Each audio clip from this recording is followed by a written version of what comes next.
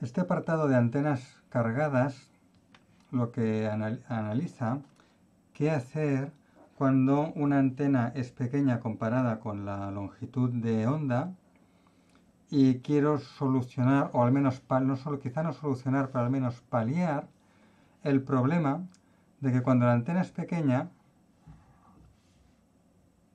la resistencia de radiación tiende a cero.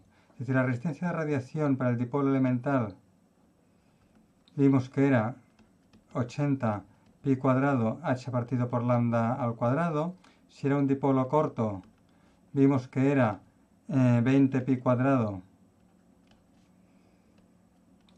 2h partido por lambda al cuadrado, donde, fijaos, en el dipolo elemental h minúscula es la longitud total del dipolo, el dipolo corto h mayúscula es el brazo del dipolo, pero en cualquier caso, lo que está claro es que hay un factor longitud eléctrica, que es la longitud normalizada con lambda, al cuadrado, longitud eléctrica, eléctrica al cuadrado. Y este factor lo que va a hacer siempre es que la resistencia de radiación va a ser en cualquier caso pequeña cuando la antena es pequeña, da igual que sea dipolo elemental que dipolo corto. Entonces, ¿qué va a pasar? Pues primero, que la antena va a estar desadaptada con la línea de transmisión, porque la línea de transmisión, a ver, yo tengo una antena, la conecto a una línea de transmisión, la línea de transmisión va a tener una impedancia característica Z sub 0, que normalmente será de 50 ohmios y si no, lo que sea, también puede ser de 75 50 ohmios, es lo normal en radiofrecuencias. 75 ohmios es bastante habitual en las antenas de televisión, de televisión terrena, las típicas antenas de televisión que se conectan al receptor de televisión. Cuando uno ve la televisión terrestre, no la, no la ve por cable, pues suelen ser de 75 ohmios las líneas de transmisión, los típicos cables coaxiales, y si no, lo normal es que sean de 50. Pero claro, si yo tengo una resistencia de radiación de centésimas o milésimas de ohmio y tengo una resistencia ómica del orden de, yo que sé, de centésimas de ohmio y tengo una reactancia de entrada del orden de, yo que sé, 10 a la 3 ohmios negativos, pues claro, esto va a estar muy desadaptada. Fijaos que esto es clave. La antena receptora o transmisora, da igual, va a estar muy desadaptada con la línea de transmisión. Decía receptora desde el punto de vista de adaptación es lo mismo que sea transmisora como receptora. Pero decía receptora porque se había justificado antes que las antenas pequeñas en recepción todavía se pueden utilizar y en cambio en transmisión van muy mal. Por eso decía receptora ya por inercia, ¿no? Pero bueno, en general, el hecho de que esté muy desadaptada es independiente que sea transmisora o receptora. Una de las cosas que he dicho es parte real muy pequeña. En la parte real de la impedancia de entrada, recordad que la impedancia de entrada tiene una parte real que es la resistencia de radiación más la resistencia ómica y una parte imaginaria que es la reactancia. ¿no? La resistencia eh, eh, de radiación y la ómica son muy pequeñas y por tanto muy alejadas de los 50 o 75 ohmios a los que queremos adaptar. Pero además, si recordamos las curvas de impedancia, ¿os acordáis? Vamos a poner quizá esta curva que está un poco más limpia. A ver, si recordáis las curvas de impedancia aquí, fijaos lo que pasa con una antena pequeña. Las antenas pequeñas, h partido por lambda o 2h partido por lambda pequeño, están en esta zona. Fijaos que en esta zona estamos en una reactancia de miles de ohmios negativos. Fijaos que esto está en kilo ohmios, o sea, estos son menos 10 a la 3 ohmios menos 1000 ohmios, menos 2000 ohmios. ¿Vale? Entonces, muy fácilmente, una antena de tamaño pequeño comparado con lambda y con dimensiones prácticas, pues tiene miles de ohmios negativos de reactancia. Entonces está muy, muy, muy desadaptada con la línea de transmisión. Esto es muy problemático en transmisión porque refleja toda la potencia hacia el generador. O sea que la problemática de estas antenas, de las antenas pequeñas comparadas con lambda, la problemática que os decía antes con las antenas pequeñas comparadas con lambda, que al tener la resistencia de radiación mucho más pequeña que la resistencia ómica, lo que hacías era calentar la antena, pues claro, calientas la antena con la potencia entregada a la antena. Pero es que además, la potencia entregada a la antena va a ser mucha menos que la potencia disponible en el generador, porque la desadaptación va a reflejar la potencia de vuelta al generador. De hecho, la potencia se va a disipar mayormente en la impedancia interna del generador que en la resistencia ómica de la antena. O sea, que básicamente fundimos el generador, si estamos con generadores de megavatios. En recepción no afecta tanto porque en recepción la desadaptación de impedancias entre antena y línea de transmisión es como poner un atenuador. Es decir, si yo tengo un coeficiente de desadaptación de impedancias de menos 30 dB, de 10 a la menos 3 en potencia, por tanto menos 30 dB, es como poner un atenuador de menos 30 dB en, que afecta igual a la señal que al ruido. Entonces no me empeora la relación señal a ruido siempre que la señal resultante después de pasar por este atenuador esté bastante por encima del ruido térmico. Entonces, bueno, pues todavía se siguen usando en recepción por este motivo, ¿no? Pero a nosotros nos gustaría solucionar este problema, o al menos disminuirlo o paliar el problema.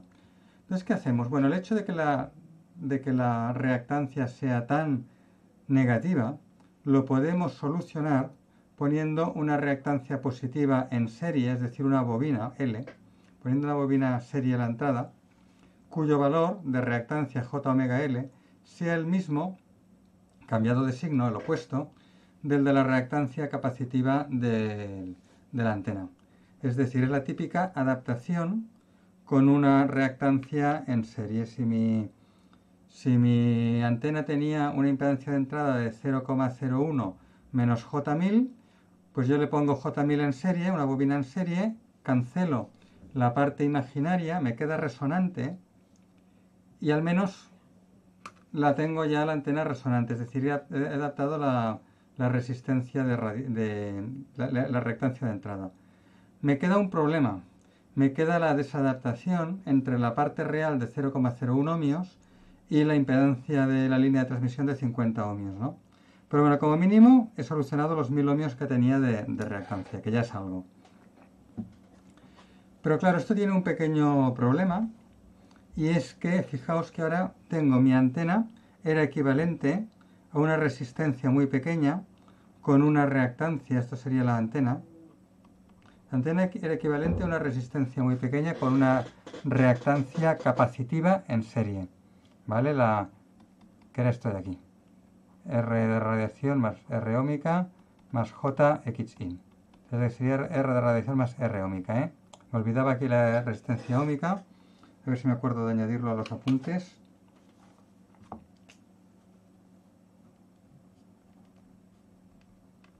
¿Vale? Pues le ponemos en serie una bobina. Le ponemos en serie una bobina, que es esta de aquí. ¿Y qué es lo que me queda? Pues un circuito RLC. Un circuito RLC. ¿Qué estos circuitos RLC, ¿qué ancho de banda tienen? ¿Os acordáis del ancho de banda de un circuito RLC? ¿Os acordáis que el ancho de banda de un circuito RLC de banda estrecha es inversamente proporcional al factor de calidad? Y que el factor de calidad dependía en el numerador de la... En el numerador estaba, del factor de calidad estaba la energía reactiva almacenada y en el denominador estaba la resistencia o pérdidas del, del circuito RLC, del circuito resonante. Entonces, ¿qué es lo que va a pasar? Pues que como la, reactancia capacitiva es muy grande, la reactancia inductiva que la cancela también es muy grande, tenemos mucha energía reactiva almacenada, muy poca resistencia serie, porque acordaos que esta resistencia serie será básicamente la de las pérdidas de la antena centésimas de ohmio, entonces tendremos un factor de calidad muy grande y por tanto un ancho de banda muy pequeño. Entonces, claro, siempre podemos hacer, y lo vamos a hacer, frecuentemente el poner una bobina en serie para compensar la reactancia capacitiva tan grande que tienen estas antenas pequeñas. Pero hay otras estrategias que voy a explicar ahora, hay otras estrategias que producen circuitos, porque producen antenas adaptadas en cuanto a, antenas resonantes, o sea, adaptadas en cuanto a parte imaginaria de la impedancia, no en cuanto a parte real, pero al menos producen antenas resonantes con un ancho de banda no tan pequeño como el poner una bobina en serie. Y son lo que se llaman antenas cargadas, en las cuales se añade una carga capacitiva o una carga inductiva a la antena. Entonces, estas antenas cargadas lo que hacen es, pueden conseguir que la antena sea resonante, es decir, cancelar la parte imaginaria de la impedancia de entrada, la parte reactiva, y pueden mejorar un poquito la parte real de la impedancia hasta, en el mejor de los casos, conseguir la resistencia de radiación que tendría un dipolo elemental. Esto lo veremos ahora, pero fijaos que hemos dicho antes que el dipolo corto, que sería el que tenemos normalmente, si yo tengo un, un dipolo normal y corriente conectado a un generador y es de dimensiones pequeñas comparadas con lambda y no se acumula carga en los extremos, recordad que tenemos una corriente una corriente a lo largo de la antena en forma triangular y con una resistencia de radiación dada por 20 pi cuadrado, longitud eléctrica al cuadrado. Entonces, veremos que con las antenas cargadas, en el mejor de los casos, podemos conseguir que la distribución de corrientes en lugar de ser triangular sea uniforme y podemos pasar de la resistencia de radiación del dipolo corto, podemos pasar a la resistencia de radiación del dipolo elemental, que es 80 pi cuadrado, en lugar de 20 pi cuadrado, es decir, podemos mejorar en un factor 4. Esto lo veremos ahora enseguida, como básicamente podemos mejorar la, la corriente de triangular a casi uniforme, en el mejor de los casos, y no siempre. Pero fijaos que continuaremos muy limitados, continuaremos muy limitados con la resistencia de radiación, porque lo mejor que podemos conseguir es este 80 pi cuadrado longitud eléctrica al cuadrado. Aunque es mejor que el 20 pi cuadrado, pues todavía no es, no es muy bueno. Entonces veamos en qué consiste la carga capacitiva.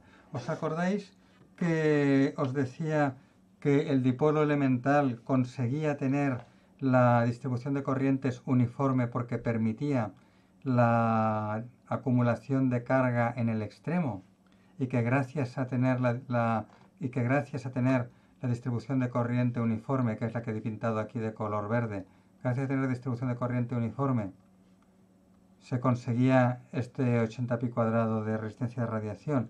Pues claro, yo si en lugar de un dipolo corto de distribución triangular quiero tener un dipolo con distribución uniforme, ¿qué es lo que tengo que hacer? Pues la solución es muy sencilla. Fuerzo la acumulación de carga en el extremo, es decir, en el extremo del dipolo le pongo una estructura que acumule carga que acumule carga Q. Pongo la palabra carga para no confundirnos con la Q que he puesto antes, que era del factor de calidad. La Q que estoy poniendo ahora es Q de carga, por eso pongo la palabra carga. Pues le pongo algo en el extremo del dipolo. Lo que hizo Hertz, en el experimento de Hertz, que creo que os puse una, una foto, y si no, pues lo puedo... Y si no la puse, pues la puedo poner ahora mismo. Vamos a buscar aquí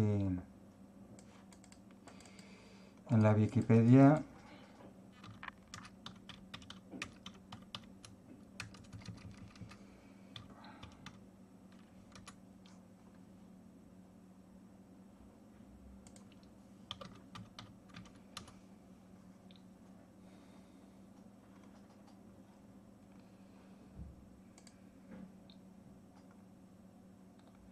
Heinrich Hertz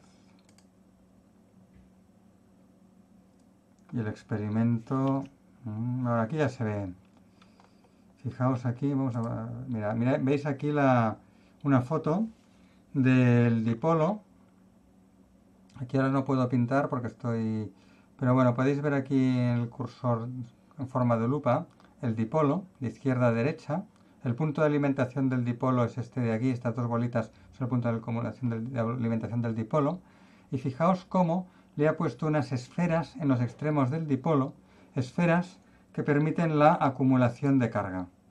Yo en los apuntes he dibujado un capacete, es decir, una placa de condensador. Esto se llama capacete.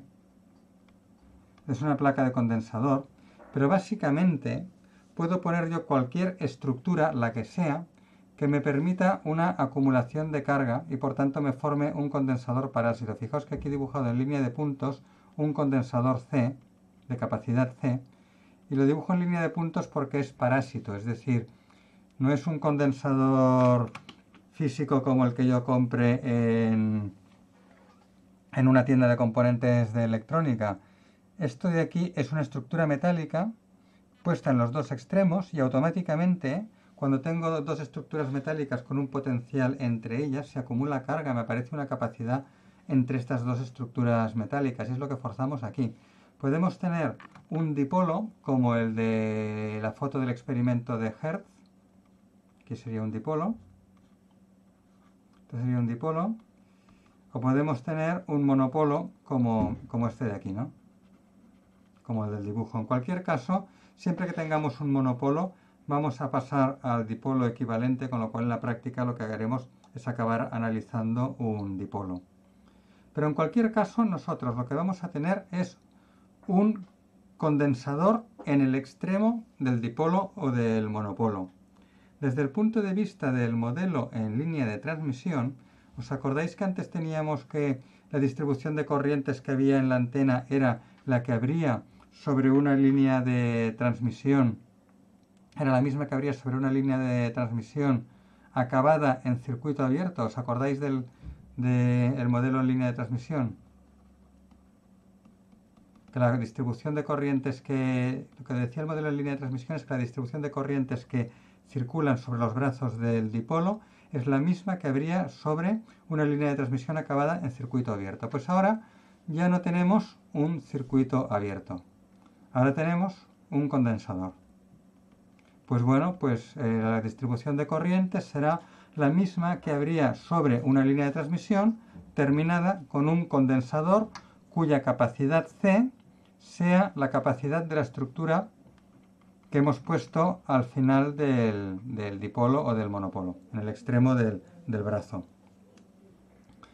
¿Cómo se analiza esto? Bueno, una línea de transmisión acabada con una carga, en este caso un condensador, se puede analizar con todas las fórmulas que sabéis de, asignatura de radiación y propagación.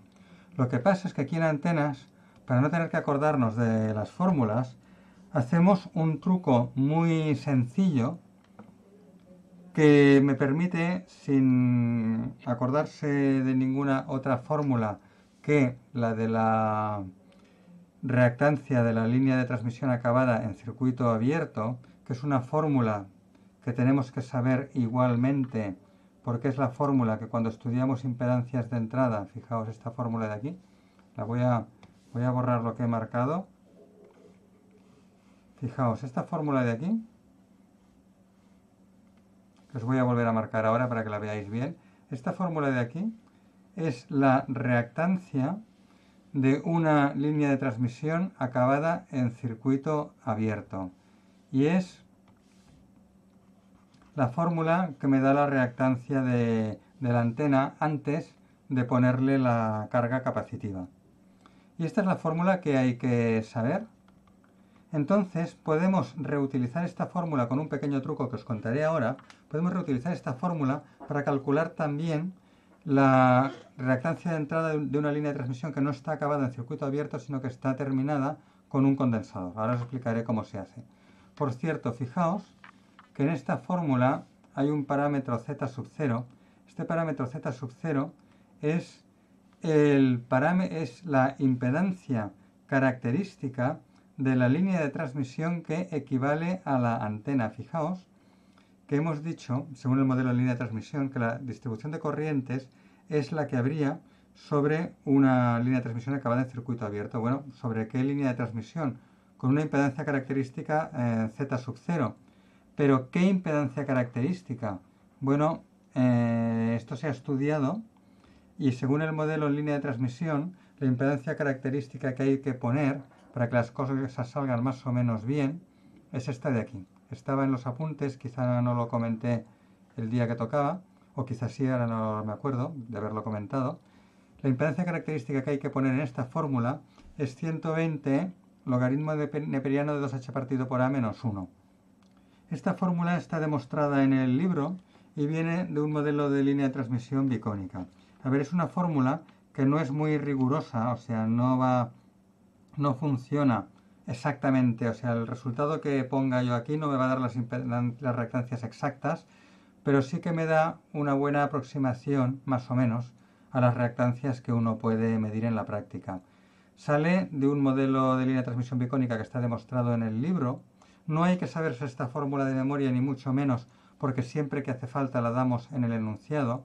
Por eso es posible que cuando explicara esto no dijera nada y dejara la fórmula aquí apuntada. Es una fórmula que siempre que hace falta en el enunciado se dice eh, calcular la calcular la reactancia de entrada de, esta, de este dipolo suponiendo que la impedancia característica de la línea de transmisión equivalente, según el modelo de línea de transmisión, es tal. Entonces se da un valor en ohmios o se da la fórmula. Esta fórmula es para esta configuración, pero a veces hay configuraciones distintas que tienen otra fórmula. Bueno, si la configuración es distinta y la fórmula es distinta, pues os daremos en el enunciado la fórmula que toca. ¿De acuerdo? Pero bueno, el caso es que siempre os daremos el valor de esta impedancia característica o bien la fórmula para que la calculéis o bien el valor en ohmios. Pero bueno, lo que hay que saber es, lo que está marcado en fosforito amarillo, que es esto de aquí. Esto sale de forma sencilla de la, de la fórmula de la impedancia de entrada de una línea de transmisión en general, cuando se particulariza la carga de la línea de transmisión a infinito, que es la carga de un circuito abierto, y entonces sale esto de aquí. Pero es muy fácil acordarse de que la reactancia es menos z sub 0 por la cotangente de KH. Esto es muy fácil acordarse. En la práctica uno se acuerda siempre, con lo cual tampoco tiene mayor problema. Entonces, vamos a reutilizar esta fórmula de la reactancia de la línea en circuito abierto para analizar el caso de la línea terminada con un condensador. ¿Cómo se hace esto? Pues se sustituye el condensador es decir, el condensador se quita y se sustituye por un tramo de línea de transmisión acabada en circuito abierto que tenga la misma, vamos a ponerlo aquí quizá mejor, la misma reactancia que el condensador. La reactancia del condensador era 1 partido por J omega C, pues yo sustituyo el condensador por un tramo de línea que tenga la misma reactancia 1 partido por J omega C. Entonces, en, en, el brazo del dipolo, que es el primer tramo de línea, la corriente I de Z', que es la corriente que yo quiero calcular, yo quiero calcular la corriente en el brazo del dipolo cuando está terminado con un condensador. Pues la corriente que yo quiero calcular no se entera de lo que hay después de esta conexión. Si después de esta conexión yo tengo un condensador o tengo otro tramo de línea acabado en circuito abierto, no me afecta para nada a la corriente I de Z' que circula por la antena. Porque esta corriente solamente ve al final del brazo, solamente ve una reactancia 1 partido por J omega C. Entonces, no se entera de esto. Y es la misma. Pero lo bueno de haber sustituido el condensador por este tramo en línea de transmisión es que el tramo en línea de transmisión yo lo escojo con la misma impedancia característica Z0, con la misma impedancia característica que la línea que tenía antes. Y ahora lo que tengo es una línea de longitud que da una línea de transmisión de longitud h más h' e impedancia característica z sub 0. ¿De acuerdo? Entonces, pues se me ha simplificado mucho ahora porque lo único que tengo que hacer es calcular con la fórmula habitual, la tenemos aquí... Bueno, no la tenemos aquí abajo, pues la voy a poner con la fórmula habitual.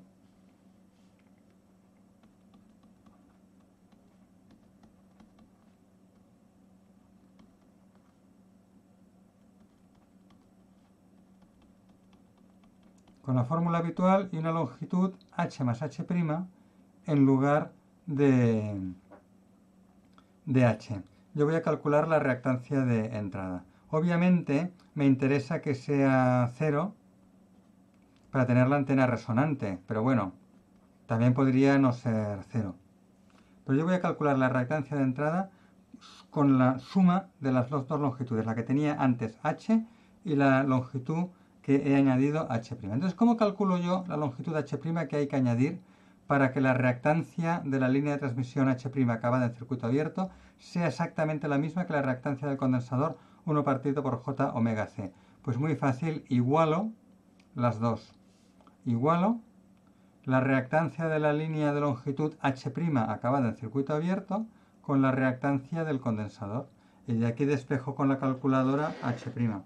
Es decir, de aquí yo cojo j omega c, lo divido, bueno, 1 partido por j omega c, lo divido por eh, z sub 0, las j y el signo me desaparecen, saco la eh, arco cotangente, divido por k y me sale h', ¿no? Y de esta manera yo calculo, es lo que esta igualdad, es lo, esto es lo que hemos hecho aquí, haciendo esto de aquí, yo calculo h'. O también puedo hacerlo al revés. Esto es suponiendo que yo sé cuánto vale el condensador. Es decir, me dicen analiza este dipolo cargado con un condensador de tantos eh, picofaradios. Bueno, pues yo, em, conociendo el valor de C, calculo H'. Pero también se puede hacer al revés. Si me preguntan qué valor de capacidad hay que poner para que la reactancia total sea cero, pues vamos a hacerlo diferente. Yo quiero que la reactancia total sea 0. H más H' igual a 0. La reactancia total sea 0. Entonces, para que la reactancia total sea 0, lo tenemos aquí, para que la reactancia total sea, 0, H más H' tiene que ser lambda cuartos. ¿Vale? Porque sabemos que el dipolo de longitud total lambda medios tiene, según el modelo en línea de transmisión, una reactancia 0. Entonces, si la longitud total del dipolo es lambda medios, el brazo es lambda cuartos. Entonces, un dipolo de brazo h más h' igual a lambda cuartos tiene reactancia C. Por tanto, la longitud h', la longitud h' que hay que añadir es lambda cuartos menos h, donde h es la longitud del brazo que yo ya tenía. Le tenemos que añadir lambda cuartos menos h para que junto con el brazo que ya tenía h me dé una longitud total equivalente h más h' igual a lambda cuartos. Entonces, esta h' igual a lambda cuartos menos h, la sustituyo aquí y despejo c. Y de aquí sacaría el valor de la capacidad c. También puedo calcular la distribución de corrientes. Fijaos lo que tenemos. Inicialmente, cuando era un dipolo corto con, el extremo en circuito abierto, sin ninguna acumulación de cargas, la distribución de corrientes sabíamos que era triangular. Esto sirve para un monopolo y si es un dipolo, pues con dos brazos. La distribución de corrientes sería triangular. Entonces, ¿qué pasa cuando yo le añado el condensador? Cuando yo le añado el condensador, la distribución de corrientes y de Z'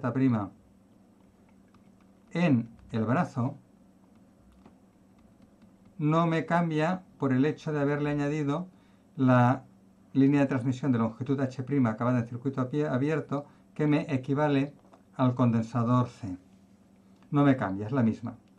Entonces, ¿qué, ¿cómo calculo yo cuánto vale? Pues yo calculo la corriente que tengo en toda la línea de transmisión, H más H' acabada en circuito abierto, entonces el tramo que corresponde al brazo del dipolo H, pues es el tramo de I de Z' que corresponde con la antena cargada. Esto de aquí es la I de Z' que corresponde con la antena cargada. Y esto de aquí corresponde con lo que con el efecto del condensador. Es decir, esta parte, esta parte que he marcado con C en color azul es el efecto del condensador. Entonces esta corriente I de Z' en la parte que corresponde con el condensador, la parte H', no me eh, no tiene no, no circula realmente por el brazo del dipolo. El brazo del dipolo solamente circula la parte que está marcada en rojo y con fosforito amarillo, que es esta de aquí. Vamos a marcarla también en fosforito amarillo en los dos sitios para que se vea el efecto. Entonces lo que, lo que vemos es que el, efecto de haber añadido, el hecho de haber añadido el, el, condensador es lo mismo que haber añadido, vamos a marcarlo aquí en azul, es lo mismo que haber, haber añadido esto. Y esto lo pongo tachado porque no corresponde con una corriente física en la antena, pero sí que tenía un efecto que nos ha el efecto que ha tenido positivo es que nos ha subido la distribución de corrientes que estaba aquí, pues nos la ha subido hacia arriba. Y hemos pasado de la distribución de corrientes del triangular a una distribución de corrientes casi uniforme. No uniforme del todo, pero casi uniforme. Esta distribución de corrientes casi uniforme que nos ha quedado es en realidad una distribución de corrientes trapezoidal. Vamos a dibujarla en rojo un poco mejor. Es una distribución de corrientes trapezoidal. Si yo aproximo este brazo, esto que está dibujado aquí, en realidad es un tramo de seno. Entonces un tramo de seno tiene una curvatura. Pero como es un tramo de seno cerca del nulo, es casi recto. Se, puede, se puede aproximar por una línea recta. Entonces nosotros aproximamos esto por una línea recta. Y lo que vemos es que la distribución de corrientes tiene la forma de un trapecio. Tiene la forma de un trapecio. Yo puedo calcular fácilmente la integral de esta distribución de corrientes calculando el área del trapecio como la suma de un rectángulo más un triángulo. Fijaos, y más esto es más, esto es más claro todavía en el caso del dipolo. Si es un monopolo hay que analizar el dipolo equivalente, o sea que al final siempre hay que acabar analizando esto. Entonces fijaos que lo que tenemos es un, vamos a ponerlo aquí en color verde, por ejemplo, tenemos un rectángulo. Y luego tenemos, vamos a cambiar el color, a ver el naranja si se ve, y luego tenemos un triángulo aquí. Entonces podemos calcular fácilmente el área del trapecio sumando el área del rectángulo más el área del triángulo, pero es casi uniforme. La resistencia de radiación será casi la resistencia de radiación que tenía un dipolo elemental de longitud 2h. No llegará, porque el área contenida bajo la curva, que es la integral, no será tanto como eso, no llegará a la uniforme, la uniforme la voy a poner aquí en negro, no llegará a la uniforme, pero casi llega a la uniforme. Entonces, bueno, vemos que mejoramos mucho la resistencia de radiación y pasamos de lo que decía antes, de 20 pi cuadrado que había para el dipolo corto, pasamos a casi 80 pi cuadrado para este, que no serán 80, que a lo mejor son 70, pero bueno, hemos mejorado, hemos mejorado mucho. ¿Y qué pasa si es monopolo o si es dipolo? Aquí hay que ir con un poco de cuidado, a ver, lo más aconsejable es analizar siempre el dipolo equivalente al monopolo. Si analizáis el dipolo equivalente, la,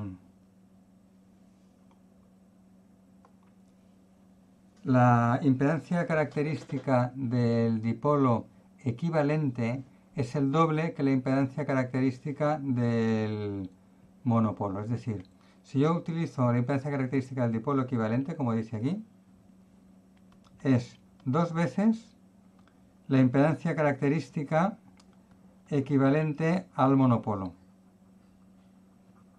¿Por qué? Porque el dipolo equivalente tiene el doble de impedancia de entrada que el monopolo. Entonces, si tiene el doble de impedancia de entrada, también tiene el doble de reactancia.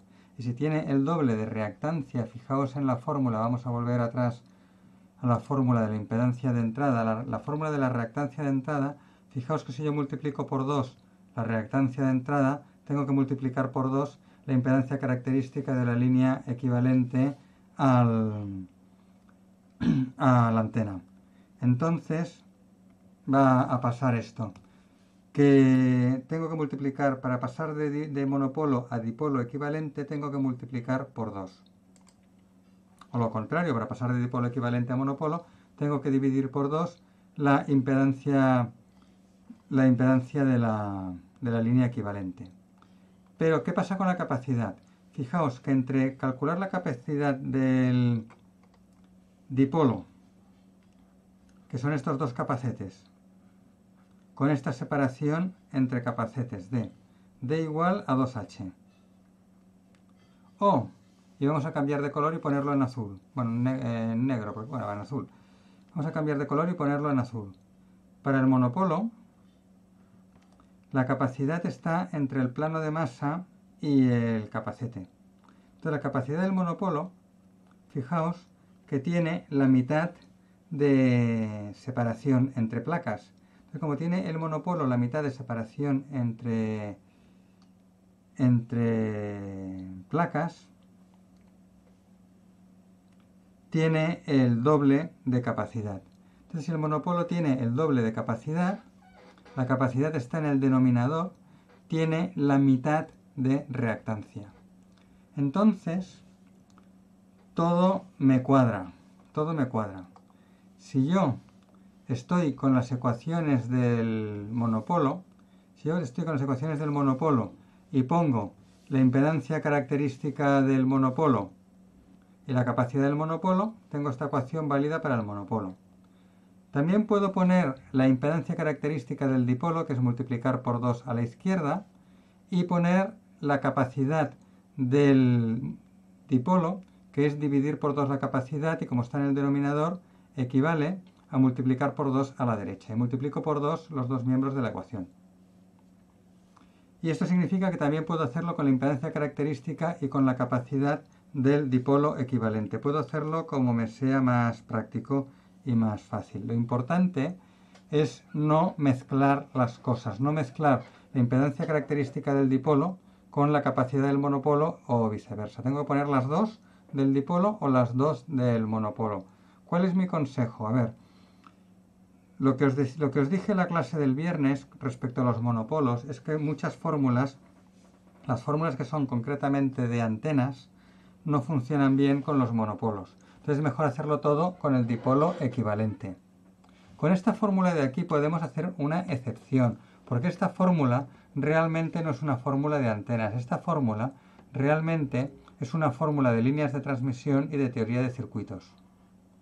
La, parte, la menos, menos JZ sub 0 cotangente de KH es una fórmula de líneas de transmisión y que la reactancia de un condensador es 1 partido por J omega C es de física o de circuitos o de lo que queráis, pero no es de antenas.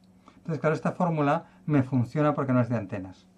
Y con esta fórmula pues sí que tenéis un poco de libertad de hacerlo como os sea más práctico, pero siempre con cuidado, porque fijaos que si, me si estáis calculando todos los parámetros del dipolo equivalente, pues cuidado al utilizar esta fórmula con los parámetros del monopolo porque entonces no son compatibles con los demás parámetros del dipolo equivalente. Entonces puede hacer como queráis, pero siempre sabiendo lo que se hace y con un poco de cuidado.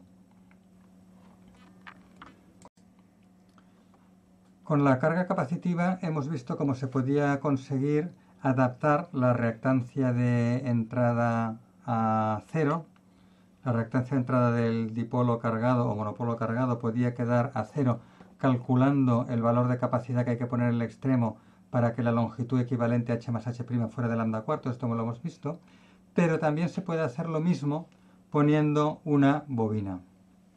Entonces, claro, el caso obvio de poner la bobina en la base ya lo hemos considerado antes. Esto de aquí es demasiado trivial y hay que pensar una cosa un poco más sofisticada, pensar que esto, esto que hemos pensado antes de poner la bobina en la base nos funciona bien si la bobina es menos J por la reactancia de entrada. Bueno, la impedancia de la bobina J omega L es menos J por la reactancia de entrada. Esto nos funciona bien, nos daba un ancho de banda estrecho, pero lo que tiene esta estrategia es que no mejora la resistencia de radiación. Es decir, con el monopolo hemos visto que aparte de conseguir, de conseguir adaptarse la, de que aparte de conseguir adaptarse la, la, reactancia de entrada, además se podía mejorar la distribución de corrientes haciéndola más uniforme y menos triangular para que aumentara la resistencia de radiación. Entonces, con la carga inductiva, poniendo una bobina en serie, si la ponemos en la base, sí que conseguimos que sea la antena resonante a costa de que el ancho de banda es muy pequeño, pero la distribución de corrientes en la antena continúa siendo triangular y no mejoramos para nada la resistencia de radiación. Entonces vamos a ver qué pasa, qué pasa si en lugar de poner la bobina en la base, la ponemos en un punto intermedio de la antena, en un punto intermedio, de tal manera que el brazo del monopolo o dipolo queda dividido en dos segmentos, segmento L1 cerca de la alimentación y segmento L2 cerca del extremo. Lo mismo se puede hacer para un dipolo. ¿eh? Eh, para un dipolo, para un dipolo podemos hacer lo mismo. Para un dipolo podemos hacer lo mismo. Y ahora tenemos los segmentos L1 y L2 en los dos brazos del dipolo de forma totalmente simétrica y la, bobina que hay que poner L, hay que poner la misma bobina L en medio de los dos brazos y en un punto simétrico, ¿no? Los dibujos los suelo hacer con monopolo porque el dibujo es más pequeño y me queda todo más, más comprimido. Y lo que uno encuentra en la práctica, como veréis más adelante en las fotos, lo que uno encuentra en la práctica, fijaos, como uno encuentra en la práctica dipolos con la bobina en medio en los dos brazos o monopolos con la bobina en medio en, el único brazo y luego el plano de masa, esto de aquí es el plano de, de masa del, del monopolo. ¿no? Entonces uno en la práctica encuentra las, las, dos cosas, dipolos y monopolos. Bueno, pues se pone en un punto intermedio. Entonces la configuración que tenemos es un tramo de línea de transmisión alimentación, un tramo de línea de transmisión L1, la bobina J omega L, L en cada brazo, o sea que si es un dipolo, pues si es un dipolo hay que poner J omega L en un brazo y J omega L en el otro brazo, en total 2J omega L. Y luego el tramo L2. Entonces, igual como hicimos con la carga capacitiva, la estrategia es dividir, eh, perdón, dividir. La estrategia es no utilizar las fórmulas de línea de transmisión de una línea de transmisión cargada, que aquí ya se nos complicaría un poco porque fijaos que en el caso del condensador era trivial haber aplicado la fórmula de la línea de transmisión cargada con una carga ZL que sea la impedancia del, condensador 1 partido por J omega C. Pero aquí ya se nos complica un poco, ¿eh? aquí ya se nos complica un poco con la bobina en medio al aplicar las fórmulas de línea de transmisión. Y es mucho más fácil aplicar la estrategia nuestra de antenas de sustituir las bobinas y los condensadores por tramos de línea de transmisión tal que al final yo tenga una línea de transmisión acabada en circuito abierto. Es decir, yo voy a sustituir esta bobina, este tramo de aquí, vamos a ponerlo en azul quizá, que así distingo un poco, esta bobina de aquí, este tramo de bobina, lo voy a sustituir con un tramo en línea de transmisión tal que la impedancia Z2 sea la misma.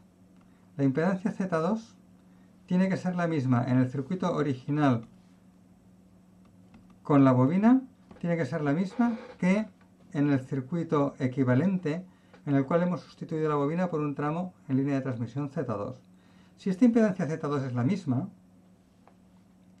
la corriente en el tramo L1 va a ser la misma, la corriente en el tramo L1 no me va, no me va a variar, lo mismo que pasaba con el condensador. ¿Y en el tramo L2 qué va a pasar?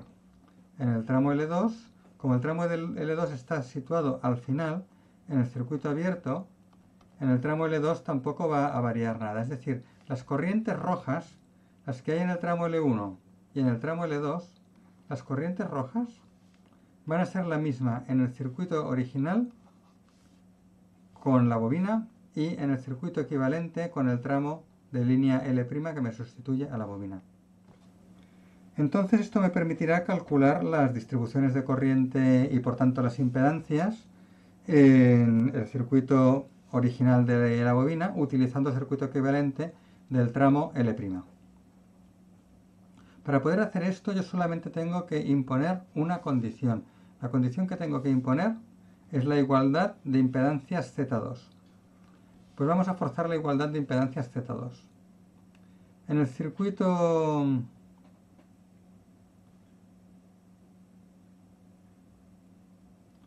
En el circuito original yo tengo, circuito original yo tengo la impedancia Z1. La impedancia Z1 es la impedancia de entrada de una línea de longitud L2 acabada en circuito abierto. Pues Z1 igual a menos JZ sub 0 cotangente de K L2. Repito, la típica fórmula que hemos visto antes para una línea de transmisión acabada en circuito abierto, pues la típica fórmula para una línea de longitud L2 acabada en circuito abierto. Y esto me da Z1. Vale, una vez tengo Z1, Z2, ¿qué será? Z2 será Z1 con bobinas en serie de valor 2J omega L. Como tengo dos bobinas, pues tengo que poner 2J omega L. Pues Z2 es igual a esto, a 2J omega L más Z1. Y Z1 es conocida, ¿eh? Z1 es conocida porque L2 es conocida. Vale, entonces, ¿Cuál es la condición? Pues que la Z2 sea la misma en los dos circuitos. ¿Cuál es la Z2 en el circuito equivalente? La Z2 en el circuito equivalente es la impedancia de entrada de una línea de longitud L' más L2 e impedancia característica Z sub 0. Como siempre, para poder hacerlo del circuito equivalente sustituyendo bobinas y condensadores por tramos de línea de transmisión, los tramos de línea de transmisión que yo añada, en este caso el tramo de línea de transmisión de longitud L', los tramos que yo añada tienen que ser de la misma impedancia característica Z0 que lo que ya tenía antes, porque así me queda una línea de longitud Z0 y impedancia L' más L2. Entonces esta Z2 tiene que ser la impedancia de entrada de una línea de longitud L' más L2 e impedancia característica Z0. Pues es esto de aquí. Yo igualo las dos. Yo igualo las dos y aquí puedo despejar lo que me haga falta. A partir de esta igualdad, esta igualdad la voy a marcar en negro. Esta igualdad es la clave. Y a partir de esta igualdad que he marcado en negro, yo puedo despejar lo que haga falta. Vamos a verlo. Por cierto, una vez haya obtenido L', yo calcularé la reactancia de entrada total la reactancia de entrada total la calcularé como en una línea de longitud L1 más L' más L2, longitud L1 más L' más L2, e impedancia característica Z sub 0. ¿Vale? Esta es la impedancia de entrada total. Entonces, puedo utilizar estas fórmulas para diseñar o para analizar. Vamos a utilizarla ahora, por ejemplo, para diseñar. Para diseñar, yo lo que quiero es impedancia característica igual a cero. Lo tengo puesto aquí. Yo quiero impedancia característica igual a eh, perdón, impedancia característica. Yo quiero, lo he dicho mal, yo quiero reactancia de entrada igual a cero para que la antena sea resonante. Resonante. Para que la antena sea resonante quiero eh, reactancia de entrada cero. Entonces la longitud total equivalente L1 más L' más L2 tiene que ser lambda cuartos porque repito, lo hemos dicho antes para el caso del condensador, la antena resonante es un dipolo de longitud lambda medios y por tanto brazo lambda cuartos. Y el brazo es L1 más L' más L2 y tiene que valer lambda cuartos. Como L1 y L2 son conocidos, yo despejo L' como L lambda cuartos menos L1 y menos L2. Entonces aquí he obtenido el valor de L' y este valor de L' lo voy a utilizar aquí dentro. Este valor de L' lo voy a utilizar aquí dentro y una vez lo he utilizado, la única incógnita que me queda en la igualdad claves, esta igualdad que he puesto marcada en, eh, con un, en un círculo negro, es la clave de todo. Entonces, esta igualdad tiene un dato que es L', bueno, y L2 también es otro dato, y, tiene, y Z sub 0 es otro dato, y una incógnita, la frecuencia es otro dato, y la K, y tiene una incógnita que es L. Y aquí despejaría L. Entonces esto lo podéis saber aquí, como al despejar L, pues 2J omega L, fijaos que 2J omega L es Z2 menos Z1. Z2 menos Z1. Sí, dime, dime. Ah, vale, ¿me, oyes? Sí, sí, te oigo. Sí, pregunta, pregunta. Em, ¿Por qué en la impedancia Z2 dices que, o sea, lo que, tú, lo que tú ves es 2J omega L más Z1 o sea, yo creo que lo que ves ahí es el paralelo de dos bobinas que son dos J omega L. ¿no? No, no, es un paralelo porque esto es un circuito de alta frecuencia. Sería un paralelo en baja frecuencia. Pero fíjate que, claro, en baja frecuencia es totalmente distinto. Aquí estamos en una línea de transmisión, en alta frecuencia estamos. Entonces, aquí esto hay que verlo desde un punto de vista de teoría de líneas de transmisión. Y lo que vemos, fíjate que, que tú tienes la corriente, o sea, una línea de eh, la línea de transmisión tiene dos conductores, ¿no? Entonces, tenemos aquí la corriente que va por un conductor y forma una línea de transmisión con el de abajo. Tenemos aquí la bobina la bobina realmente lo que produce es una impedancia serie J omega L y luego aquí la, continúa la corriente en la línea de transmisión y luego vuelve y lo mismo. Entonces, en serie con el flujo de la corriente está la, bobina en cada brazo.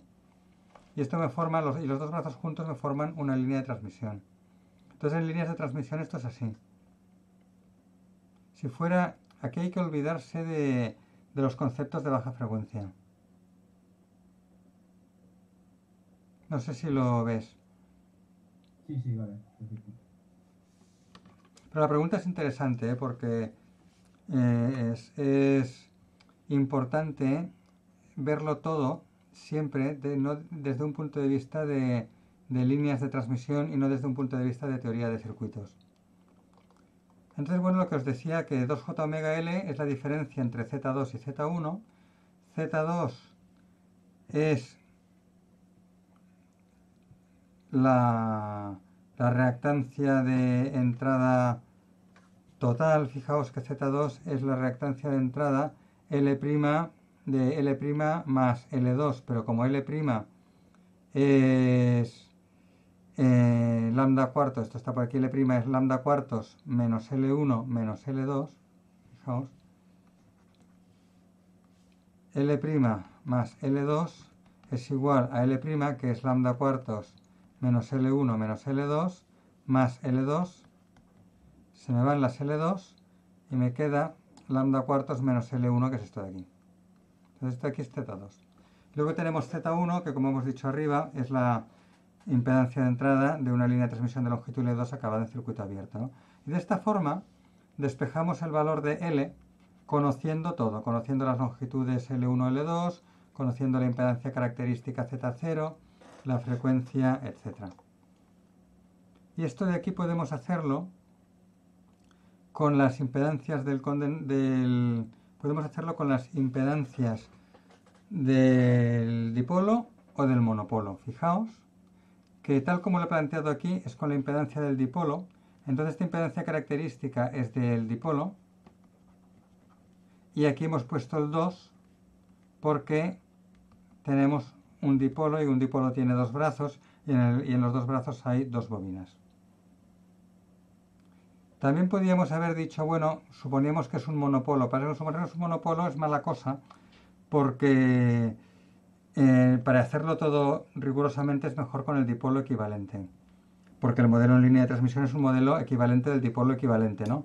Pero bueno, fijaos que si yo pongo las impedancias del, monopolo tampoco pasa nada, porque con el monopolo la impedancia característica es la mitad que la del dipolo, o sea, pongo un factor un medio, y este 2 lo quito, que también es un factor un medio, lo quito porque solo tengo una bobina en el monopolo, no dos bobinas. Entonces la fórmula me sirve igual con el monopolo. Claro, lo que es riguroso, por lo que decía antes en relación con la pregunta que se ha hecho, lo que es riguroso es hacerlo con el dipolo, porque el dipolo es el que es realmente equivalente al modelo en línea de transmisión equivalente. Y el modelo en línea de transmisión equivalente tiene dos bobinas, etc. Lo que es riguroso hacerlo con el dipolo equivalente. Y es lo que yo os aconsejo. Pero por ir rápido, la gente, yo soy el primero, y lo veréis en la solución de los problemas, yo soy el primero que para ir rápido utilizamos las, las impedancias del monopolo, porque te ahorras multiplicar por 2, y luego para luego tener que volver a dividir por 2 igualmente, y vas más rápido. Pero para hacerlo rigurosamente bien, lo suyo es hacerlo todo con las impedancias del dipolo. Podemos eh, ver la distribución de corrientes también a partir de la línea de transmisión equivalente a la, a la carga inductiva. Acordaos que esta bobina la hemos sustituido por un tramo de, de, línea de transmisión equivalente de longitud L', ¿os acordáis, no? De tal manera que la antena física, la antena física tiene una longitud eh, L1 más L2 este es el punto de la bobina, pero la equivalente, el equivalente voy a ponerla en azul, mira, lo equivalente voy a ponerlo en azul. La equivalente tiene una, longitud L1 más L' más L2. Entonces, de, lo que de la distribución de corrientes que existiría sobre la línea de transmisión equivalente, suprimimos el tramo L' que no existe y empalmamos. Es decir, si esta es la distribución de corrientes que habría sobre la línea de transmisión equivalente en los tramos L1 y L2, suprimimos el tramo L', empalmamos.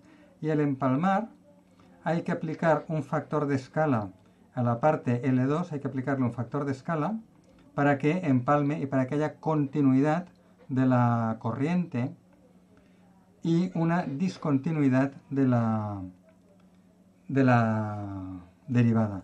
¿Por qué una discontinuidad de la derivada? Porque acordaos que en una línea de transmisión la tensión es la derivada de la corriente. Entonces, si yo tengo una discontinuidad de tensión, cosa que sucede siempre eh, cuando si yo tengo una bobina con una diferencia potencial en terminales y eh, longitud eh, menospreciable, pues la discontinuidad de tensión, como la tensión es la derivada de la corriente, pues es una discontinuidad en la derivada de la corriente. Por eso yo observo una corriente recta así, aproximadamente recta, y luego una corriente inclinada.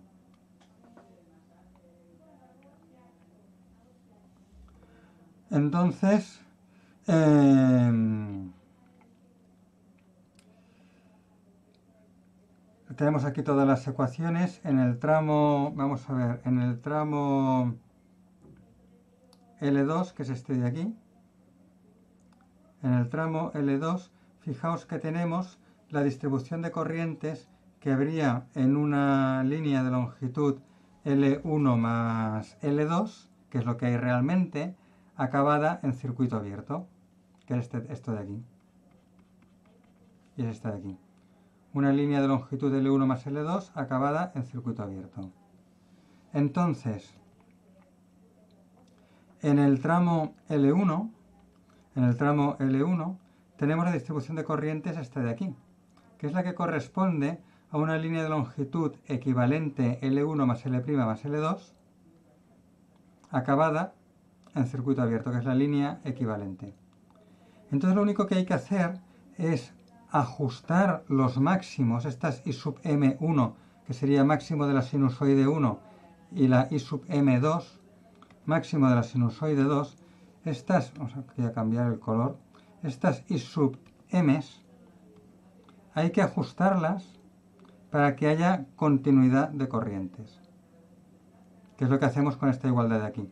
Ajustamos en el punto Z' igual a L1 en el punto este igualamos las dos corrientes y esto me permite una relación entre I sub M2 e I sub M1 y me permite escribir la corriente total en función de una de las dos I sub M, por ejemplo de I sub M1 y así puedo poner la, la corriente en el punto de alimentación en función de I sub M1 y me queda la fórmula total de la corriente en función en este caso de la corriente en el punto de alimentación.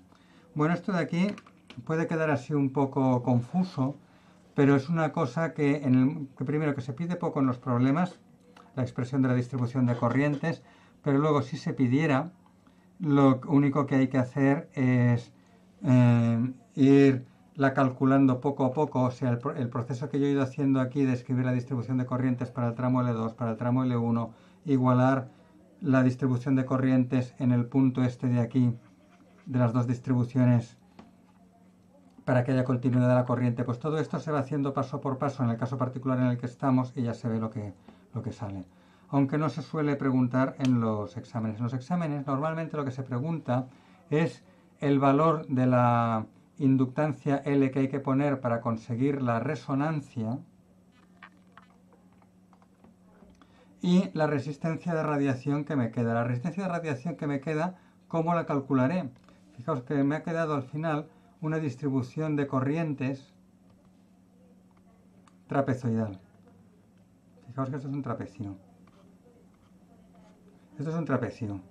Me queda una distribución de corrientes trapezoidal.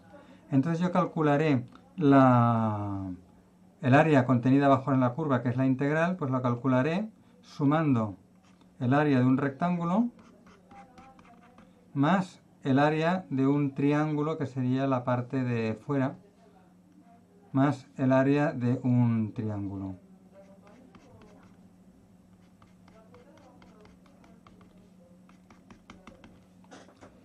Y por tanto es trivial. Entonces de aquí sacaríamos de la integral bajo la distribución de corrientes, sacaríamos la resistencia de, radiación.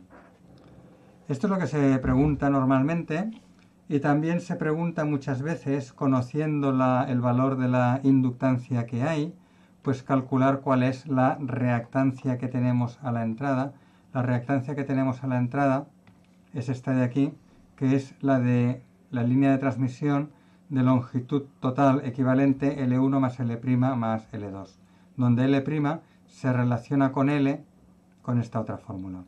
Son problemas en los cuales no hay que acordarse mucho de fórmulas, aparte de la fórmula de la reactancia de una línea de transmisión acabada en circuito abierto. Son problemas de no acordarse mucho de fórmulas, sino de, de entender el concepto e ir resolviendo y ya se ve sobre la marcha, ya se va viendo lo que, lo que sale. Bueno, unas fotos de cargas de antenas con carga inductiva o capacitiva. Tenemos aquí, como he dicho antes, unas bobinas, es un dipolo con carga inductiva. Aquí tenemos un monopolo con carga inductiva. Esta foto está hecha además en el campus. Estas fotos del campus a veces las antenas las quitan, ¿eh? Entonces esta foto está hecha años, hace años y ahora mismo no... Para saber si todavía está, eh, tendría que ir y comprobarlo, ¿no? Vosotros mismos el día que vayáis por el campus que tengáis prácticas, pues lo podéis mirar encima del edificio 2. Estas son típicas antenas de coche a ver, esto de aquí significa que está cortado, o sea que realmente la foto, la foto está cortada, realmente la antena, la antena es realmente muy larga y aquí estaría el, esto de arriba, ¿no? Entonces, detalles, esto que se pone arriba, a ver, esto que se pone arriba no es una carga capacitiva, esto simplemente es para que la antena no pinche y no, se hace, y no, hacerse, no hacerse daño, por ejemplo, si la antena se te mete en el ojo por accidente, pues no hacerse tanto daño, ¿no? Esto es simplemente una protección para que la antena no pinche. ¿Qué más tenemos? Un muelle. Este muelle es una carga inductiva que puede estar aquí o puede estar en la base. Aquí hay un plástico, pero dentro del plástico está el muelle. Esto, y aquí tenemos otro muelle en la base.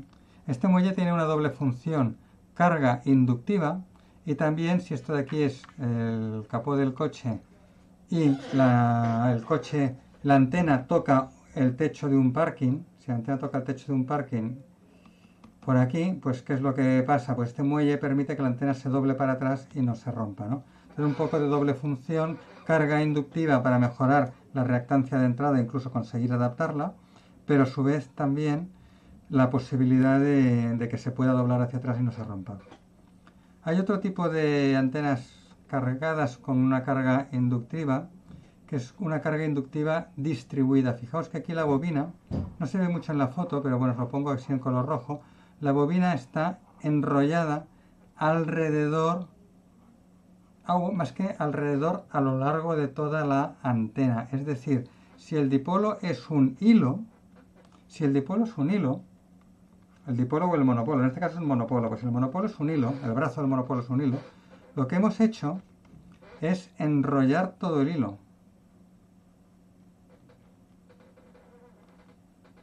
De tal manera que me queda una carga L distribuida.